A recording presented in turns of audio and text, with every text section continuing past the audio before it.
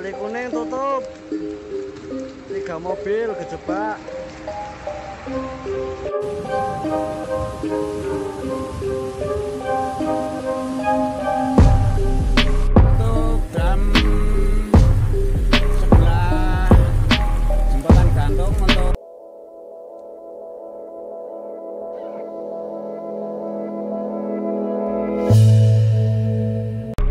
Tiga mobil jeep wisatawan di Kabupaten Sleman, Yogyakarta terjebak banjir.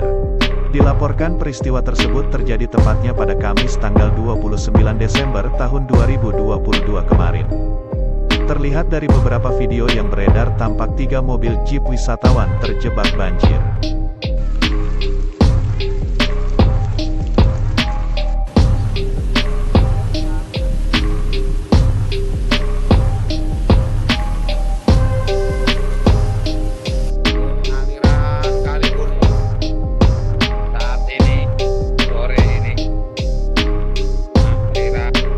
Peristiwa tersebut terjadi akibat intensitas curah hujan yang cukup tinggi mengguyur daerah hulu sungai di wilayah tersebut.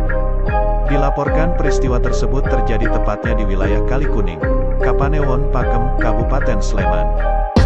Beruntung tidak ada korban jiwa dalam peristiwa itu, para sopir dan penumpang mobil jeep berhasil diselamatkan. Berikut video rekaman warga saat terjadinya banjir di Kabupaten Sleman, Yogyakarta.